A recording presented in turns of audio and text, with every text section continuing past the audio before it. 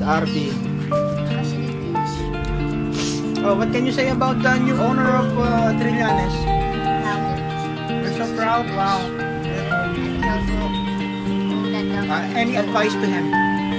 Um, if it's crying, just get Bahala ka na magpalit ng pangalan, Brad. Opo.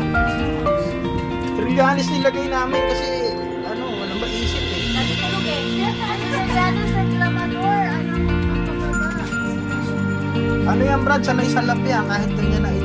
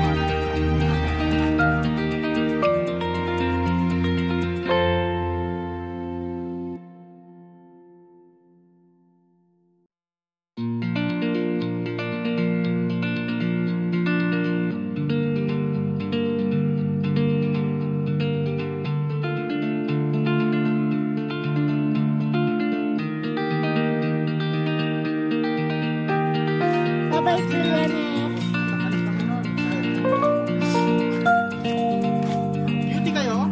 Salamat po sa Diyos, Brad.